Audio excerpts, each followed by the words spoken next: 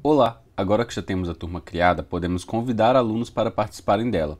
Existem duas maneiras de fazermos isso. A primeira é na aba Mural, logo abaixo do nome da nossa turma, no cabeçalho principal, onde está escrito Código da Turma. Você pode copiar este código e enviar para seus alunos entrarem usando ele. Eles vão usar o sinal de mais no canto superior direito da aba principal do Classroom, onde criamos a turma. A diferença é que eles vão clicar em participar da turma. Você pode enviar o código para os seus alunos da maneira que preferir e-mail, grupo da turma em redes sociais, comunicado no portal do aluno, etc. Outra maneira que podemos convidar alunos é utilizando a aba Pessoas. Nela você pode convidar tanto alunos quanto professores, caso seja uma disciplina co-ministrada. Para convidar professores, você deve clicar no primeiro símbolo da pessoa com mais ao lado. Uma janela abrirá na qual você deve digitar o e-mail da pessoa que quer convidar.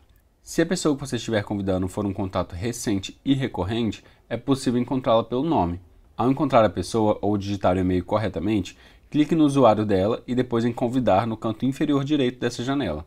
Para convidar alunos, o processo se repetirá, mas agora clicando no segundo símbolo da pessoa com o mais ao lado.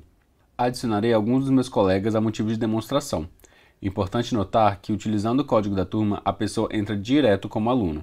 Depois que os alunos e ou professores aceitarem o convite para fazerem parte da sua turma, sua aba de pessoas deve conter uma relação de todos que estão fazendo parte. Convide seus alunos e veja como funciona.